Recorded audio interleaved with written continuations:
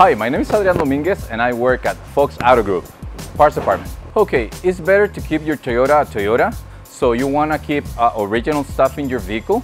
The Toyota parts are specifically made for a Toyota, so it has like specific measurements and specific details for to work with the with the Toyota vehicles versus the aftermarket parts that are made like for in a general area that they probably fit your vehicle but they won't work as good as the actual original parts. If you need any parts uh, for your Toyota, uh, we're over here in the parts department. Uh, come and see us and we'll take care of your needs.